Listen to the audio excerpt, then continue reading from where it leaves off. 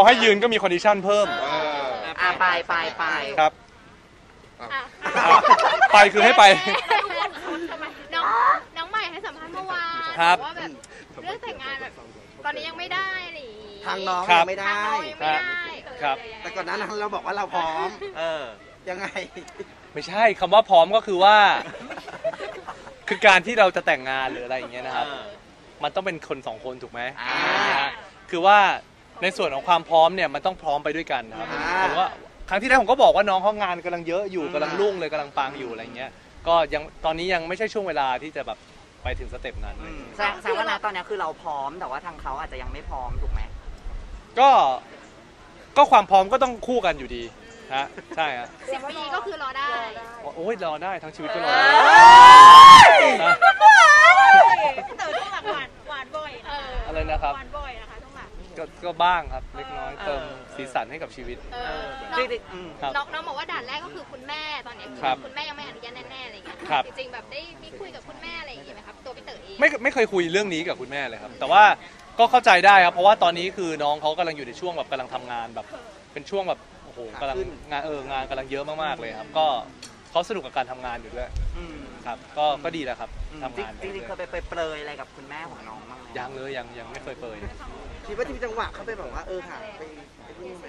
ก็ยังไม่ใช่ตอนนี้อยู่ดีถ้ามีคโอรับกาส ใช่ครับก็อาจจะเป็นเรื่องของในอนาคตครับ ถ้ารู้สึกว่าใกล้แล้วค่อยไปคุย แต่ว่าตอนนี้ยังครับ ตอนนี้ยังอืมอืม ครับ ใกล้ที่ว่านี่น่าจะปีไหนเออก็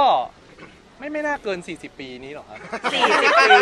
สี่สิบรอรอกันไปก่อนไม่ใช่อายุใช่โอ้ยแรงมากครับ แต่แต่น้องบอกว่าก็คือชอบแย่พี่เต๋อเรื่องแต่งงานอะไรอย่างเงี้ยใช่ครับจงๆใช่ไหมเขาชอบแกล้งใช่ชอบแกล้งแซวหรือเขาหรือหรือเขาเขาไปคิดเปรจริยงเขารอแล้วหรือว่าเขาแบบว่าหอส่เปล่งสัญจีญาบณหรือเปเขาล่าจีบเรามาไงรอเออเออๆอุ้ยนี่ผมอยู่ท่ามกลางกูรูเหรอะเนี่ยทุก คนดูรู้เรื่องเลยหมดเลย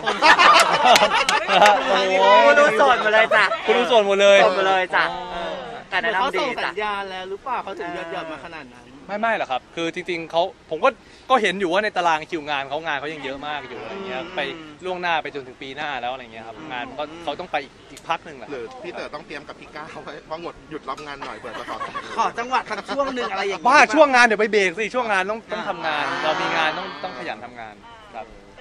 เราก็เป็นคนนี้แหละเนาะที่เต๋อเนาะ โอ้แน่นอนเออ คนนี้สิครับได้ผมตอบว่าไง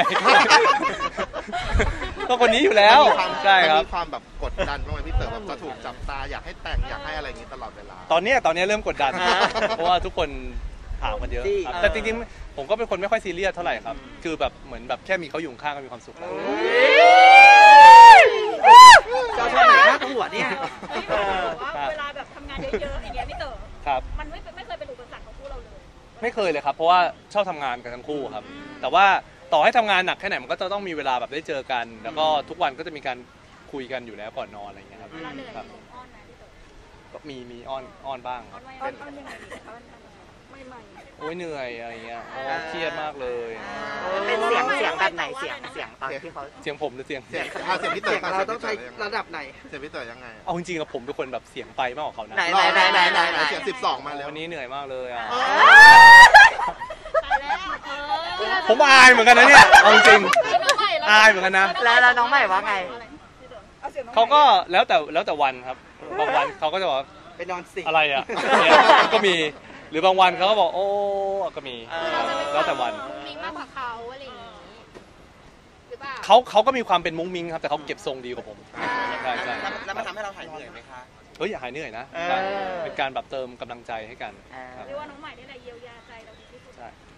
พอที่สุดครับเออ number one เออ เอออีกแล้วเอออะพี่เต๋อพอพอพอเรื่องเรื่องงานแต่งมันอาจจะต้องแบบ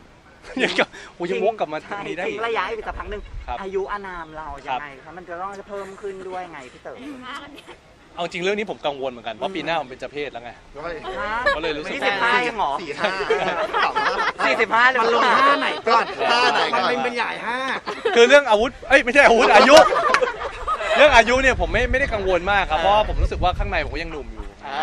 เราก็รู้สึกว่าเออเราก็ยังมีแรงยังทำงานได้ยังแบบสนุกสนานกับชีวิตอยู่อะครับก็ไปได้เรื่อยๆครับไม่ได้ไม่ได้เอาอายุมาเป็นเกณฑ์กำหนดอืมครับ ถ้าน้องใหม่เขาบอกอีก ได้ครับสิบปีก็ได้อืมก็พร้อมรอทั้งชีวิตอยู่แล้วเออไม่รู้จะใช้พาดหัวไหนายแล้วนะเนี่ย